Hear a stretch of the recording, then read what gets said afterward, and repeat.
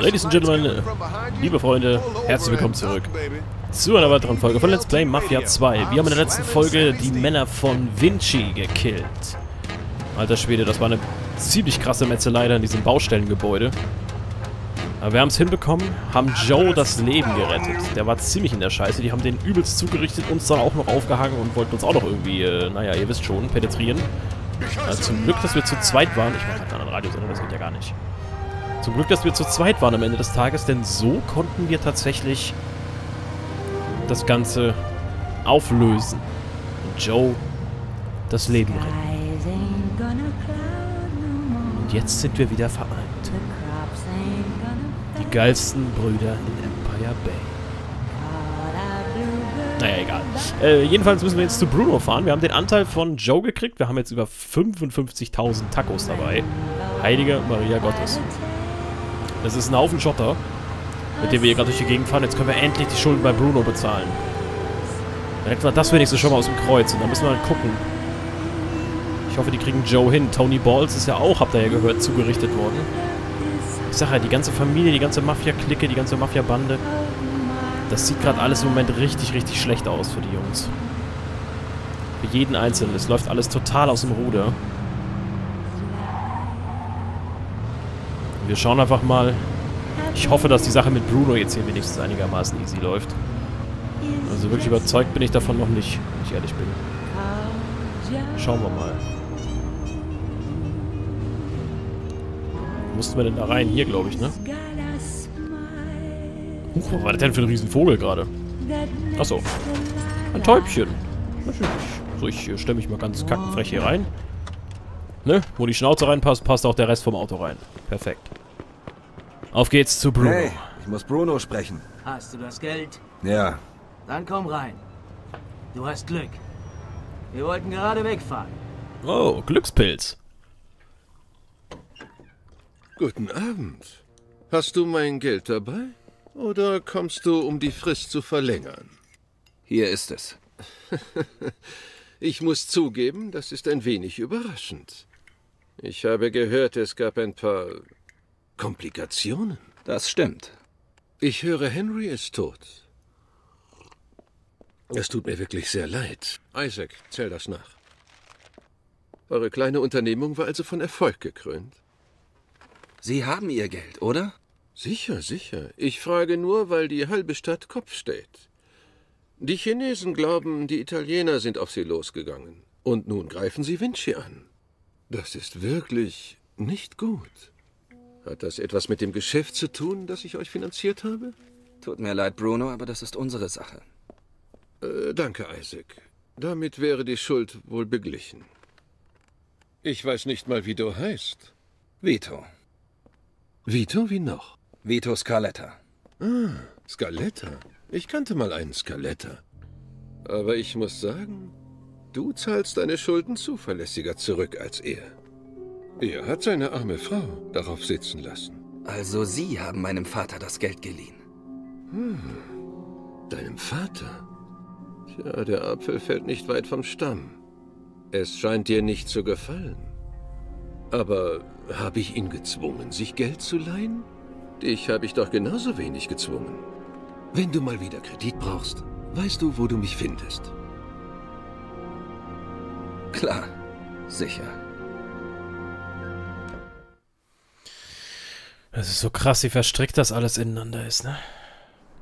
Richtig, richtig krass.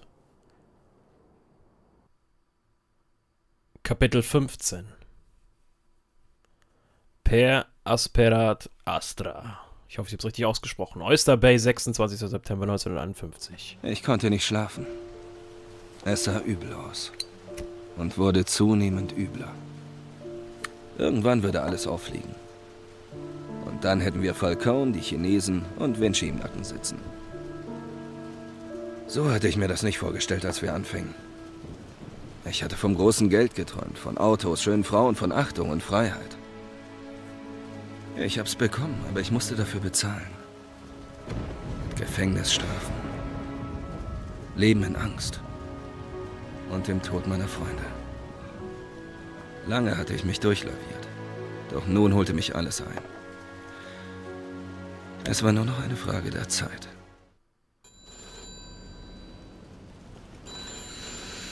Oh Mann.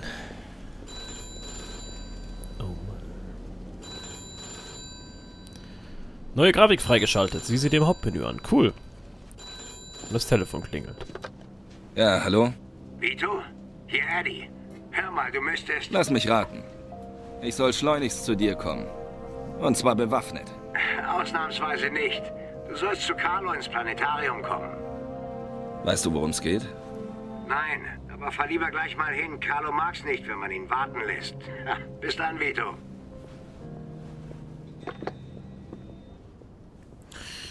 Okay, triff Carlo am Hillwood Observatorium. Oh nein, das will ich eigentlich gar nicht tun. Bin ich ganz ehrlich zu euch, habe ich eigentlich gar keinen Bock drauf. Wir nehmen den Freizuganzug.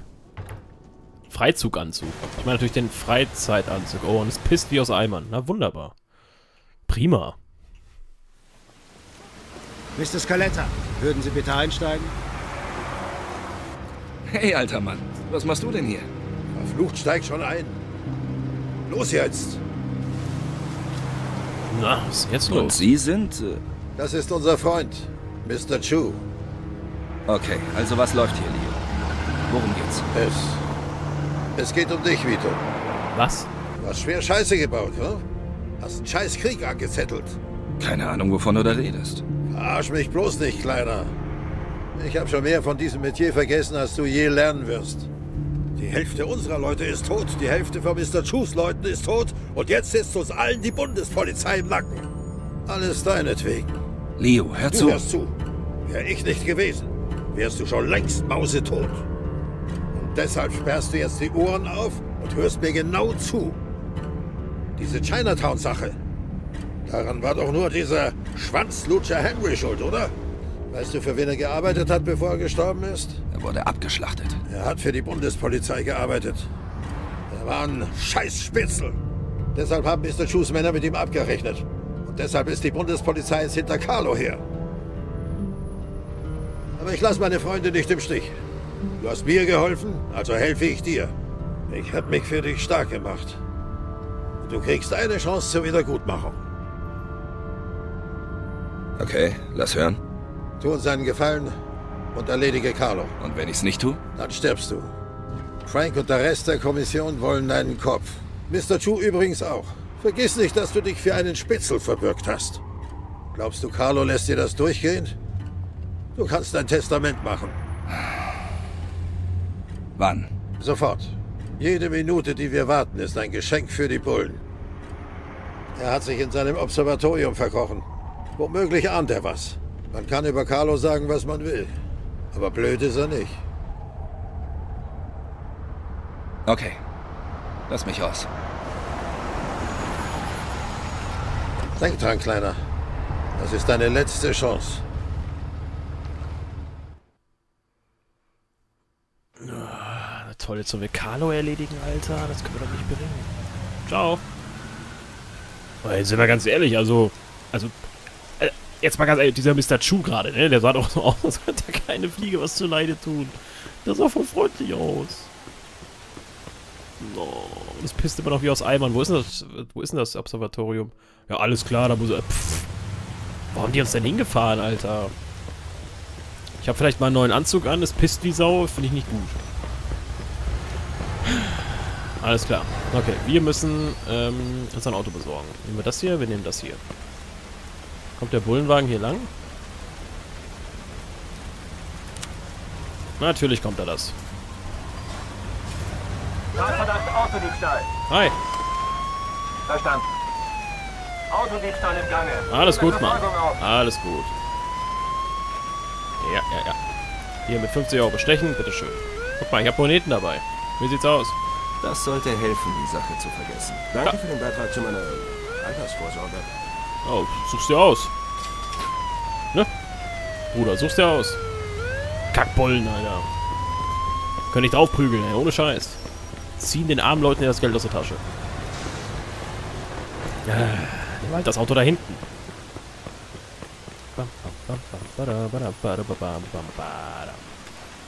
Na komm, knack das Ding los. Zack. Zack. Okay. Rein da und dann auf geht's. Also, wir sollen Carlo Falcone erledigen. Ich weiß nicht, ob das so eine gute Sache ist. Ich weiß nicht, ob das so eine gute Idee ist, dass wir Carlo umlegen. Ganz ehrlich. Ich meine... Aber auch Henry, ne? Wir hatten das ja, der, der Mr. Chong hatte das ja, äh, hatte das ja gesagt gehabt, dass äh, Henry ein Spitzel war. Das wollte Joe ja nicht so wirklich wahrhaben. Hm. Naja. Mr. Wong hatte wohl doch recht. Hätten wir mal auf den gehört, Alter. Hätten wir mal auf den gehört. Aber wir haben Mr. Chong, Mr. Wong oder Mr. Chong oder was weiß ich wie er heißt, haben wir ja gar nicht umgebracht. Das war ja Joe tatsächlich, der ihn ermordet hat. Oh Gott. Ich sag ja, das läuft alles aus dem Ruder hier, aber es freut mich, dass Leo wieder da ist. Feier ich. Feier ich, aber der war natürlich not amused, ist ja ganz klar. Wir brauchen das ja auch gar nicht schön reden. Wir haben einen Haufen Scheißdreck gebaut. Wir haben wie Jungspunde gehandelt. Und das müssen wir eben jetzt ausbaden. Und wenn das eben heißt, dass wir den Mafia-Boss töten müssen, den größten Mafia-Boss, den es gibt, naja, dann ist das eben so. Und ganz ehrlich, bevor der uns umlegt, jagen wir lieber ihm eine Kugel in den Kopf. So viel steht fest, auch wenn es nicht einfach werden wird. Nicht einfach werden wird. Nicht einfach werden würde. Nicht einfach werden wird. Werden wird. Werden wird. Gibt es das? Gibt es werden wird? Das hört sich komisch an, ne? Wenn es nicht einfach werden wird. Doch, es klingt aber... Es klingt aber richtig. Ich lebe in meiner Welt und die mache ich mir, wie sie mir gefällt. ah, Gott. Im Himmel. Beschütze mich bitte da oben. Das könnte gleich ziemlich unlustig werden. Ich habe auch, wir hätten auch noch was essen gehen müssen vorher. Wir sind mich wieder ein bisschen angedamaged, aber egal, jetzt komm.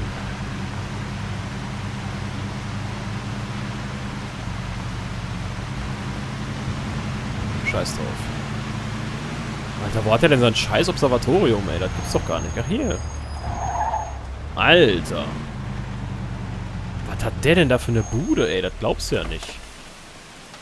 Und das ist am Pissen hier wie Schweinebacke, ey. Okay. Carlo, du Arsch. Wo bist du? I'm gonna hunt you down, man. Ach, hier muss ich hin, okay. Hey, Jungs. Hey, Vito. Der Boss will dich sehen. Alles klar. Gut, ich will ihn auch sehen. Äh, einen Moment noch, Vito. Ich muss dir deine Knarre abnehmen. Klar. Bedien dich.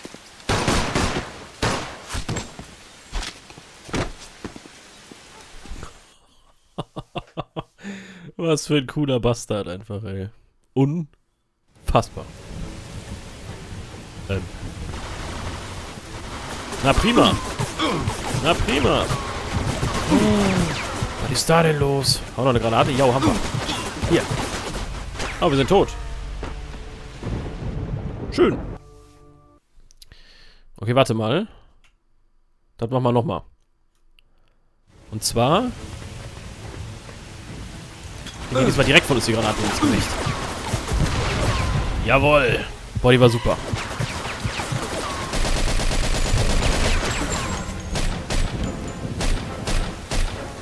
Komm. Du Arsch. Irgendwann wird eine Kugel treffen. Oder auch nicht. Mein Gott.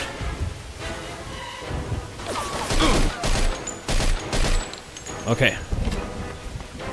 Den alten Wix-Kobold haben wir.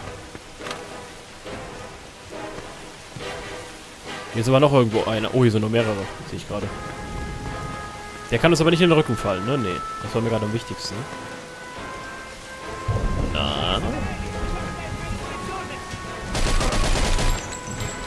Das gibt Mex Metzelfeuer weg. Das schwöre ich euch. Keiner kann uns aufhalten, Mann. Zack. Wir rushen hier einfach nur durch. Als gäbe es keinen Morgen mehr. Boah, du Pisser. Einer ist durchgekommen. Ein kleiner Lurch. Ah, ey, Kopf runter. Bruder, Kopf runter. Besser ist das. Auch für dich.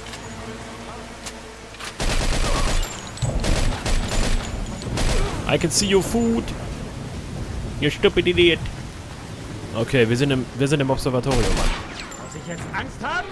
Ja. Auf die leichte Schulter würde ich es nicht nehmen, wenn jemand auf mich schießt. Na komm, zeig mir dein Köpfchen. Ja? Oh.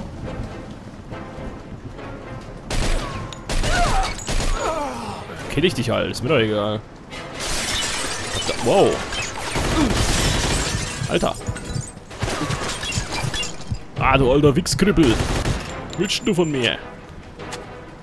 So. Aber ich muss mich hier ein bisschen umgucken, weil das kann nämlich sein, dass hier durchaus noch das ein oder andere Geschenk äh, vom Playboy liegt. Nein! Alter! Boah. Nein! Komm ich da hin. Oh. Mach du mal. Ich sehe deinen Kopf. Idiot. So. Oh. Da geht's noch einen nach oben. Alter, was macht ihr denn hier? Ihr Freaks. Nein! Boah, ist so krass, wie schnell man in diesem Spiel stirbt, ne? Alter. Boah, das ist so krass. Wir müssen jetzt aber nicht nochmal... Alter, was ist das denn? Wir müssen es... Alter, ja, warte, warte, wir haben es verpeilt. Ey, müssen wir das jetzt echt nochmal machen?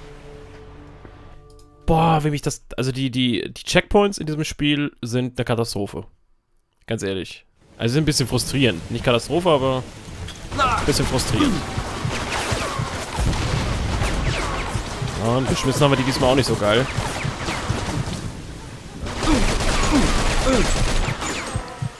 Oh fuck, die kommen halt schon nahe gerade. Wir haben auch keine Granate mehr jetzt, ne? Aber wir haben doch noch Molly, oder nicht?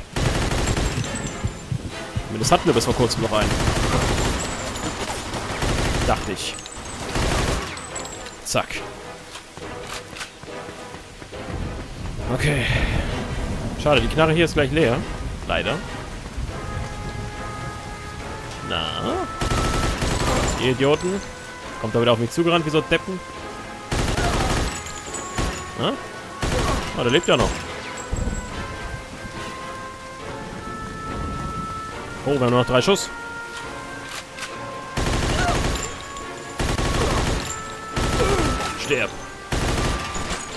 Bleib gefälligst stehen, du Pisser. Ach ja? Der kann sich hier nicht verstecken, ne?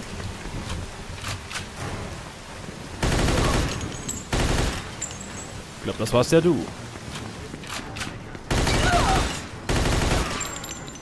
Ist tot, ja. Dein Schädel sieht man immer noch.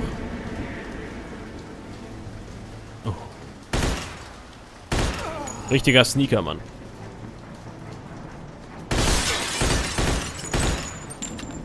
Warte, ich muss nachladen. Oh. Alter, die Drecksau. Beim Runterfallen hat er mich noch erwischt. Was für eine Hoden. Menschensau. Alter, fick dich. Fick dich! Fick dich in dein hässliches Scheißknie, du Arschloch!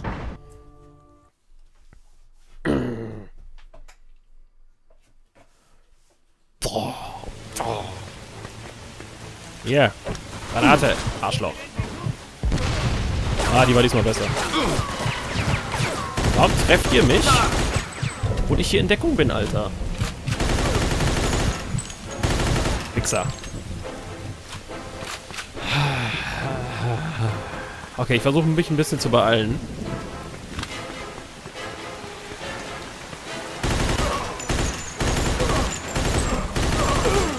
Zack. Hey! Ja, genau, genau. Er steht auf und aus dem Nichts. Klar. Weil der auch so schnell gleich wieder Orientierung hat, ne? Ist klar.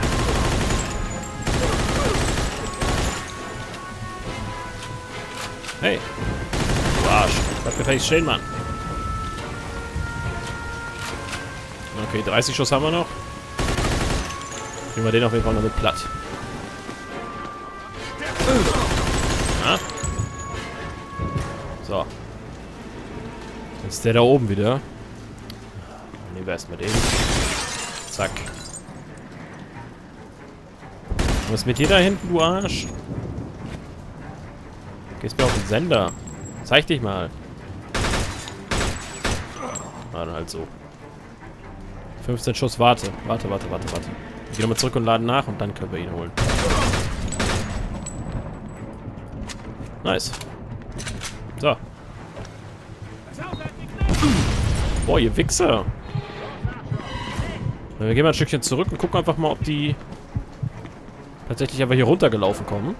Ja, kommen sie. Haben wir die? Yo. Sind down. Perfekt. Genau so habe ich mir das vorgestellt. Okay, Vorsicht beim Hochlaufen. Den haben wir. Da ist aber noch ein Kumpel dabei, ne? Jo. Hat er. Da drüben. Keine Chance, Mann. Keine Chance gegen Vito Scaletta, Mann. Bitte ein Checkpoint. Das wäre toll. Ich würde mich sehr freuen. Ja, Checkpoint. Sehr gut. So.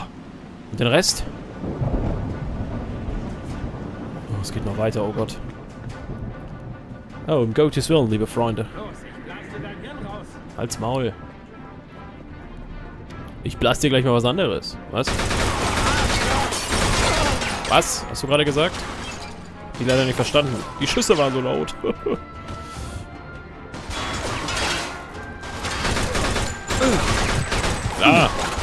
Na klar, er trifft mich wieder aus dem Nichts. So, hey.